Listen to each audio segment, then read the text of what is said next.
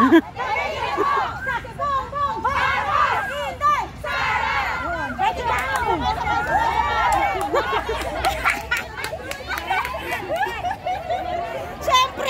naka-black, naka-blue lang ako. Hindi naman nakikita sa t-shirt yan pag active ka.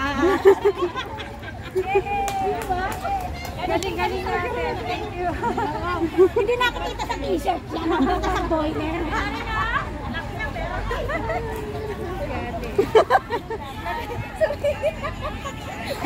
Meron nga ako kahapon, nandun ako sa ano, Ngolpin. Eh, meron pinamimigay ng windmill na Live gano'n. ba yan? Nakakita ako ng Halika na.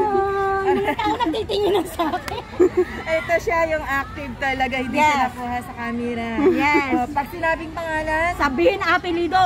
Bongbong Marcos. Sara. Duterte. BBM. BBM po kami. La Union. Cavite. Oh, Second sa pinakamaraming botante. hindi pinagmalaki pa. ha? Alam Shout out sa mga taga La Union, ano, bawag La Union. Yung totoo ba yung akin? Hindi talaga ako active. So, kasi marami akong kaibigan na dito. Patayin mo naman. Tapos, ano siya?